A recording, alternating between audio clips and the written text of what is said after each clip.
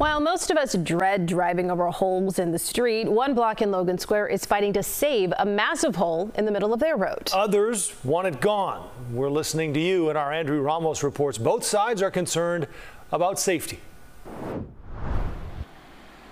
While some would write it off as an eyesore, this gaping hole at the intersection of Belden and St. Louis Avenues is winning over tons of fans.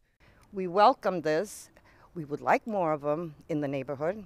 It's not exactly the aesthetics wowing locals, it's the impact that this roughly 16 by 16 foot crater is having on the neighborhood.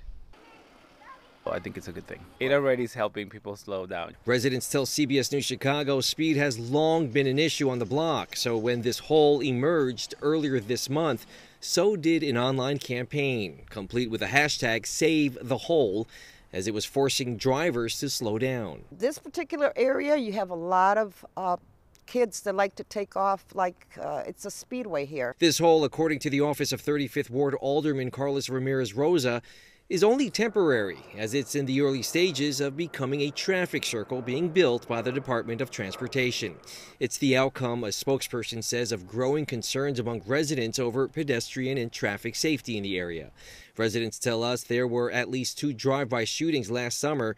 The intersection, they say, also a favorite for drivers to cut through when coming off or going on nearby Fullerton. You hear it more at night but there is a sense that this is going to help. Residents hope it's the beginning of much needed change in the neighborhood where, in some cases, stop signs have little to no impact.